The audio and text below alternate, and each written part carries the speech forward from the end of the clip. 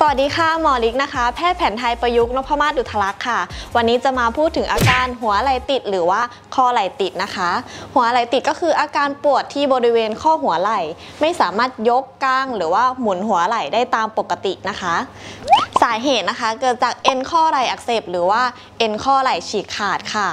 อาการหัวไหล่ติดจะมีทั้งหมด 3 ระยะนะคะ ระยะทีหนึ่1 คือระยะเจ็บปวด ระยะนี้อาการปวดจะค่อยๆ เพิ่มขึ้นมากเรื่อยๆ แล้วก็องศาการเคลื่อนไหวจะเริ่มลดลง ส่วนมากจะปวดมากเวลากลางคืนนะคะ ระยะที่ 2 นะคะ ระยะนี้อาการปวดจะเริ่มลดลง แต่ว่าองศาการเคลื่อนไหวจะลดลงอย่างเห็นได้ชัดเจนค่ะ